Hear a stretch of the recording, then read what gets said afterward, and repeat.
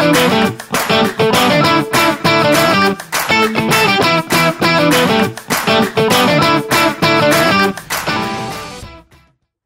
everyone, Beck here for Winchester Gaming and Tech.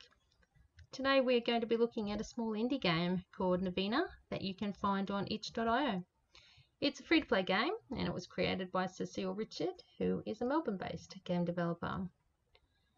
I absolutely adored this game. Um, Novena is more poem than game, so it probably spoke to the writer in me. Uh, the story is just beautiful.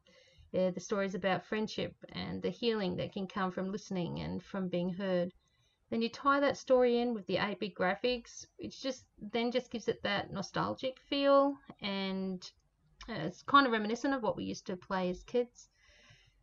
And then the music just I think just ties it all together, just really truly complements the game. Uh, the track is called Ariette, which was written and produced by Mark Dawson under the name Brambles. So I hope you enjoy it as much as I did, and um, let me know what you think in the comments below. But thanks very much for watching.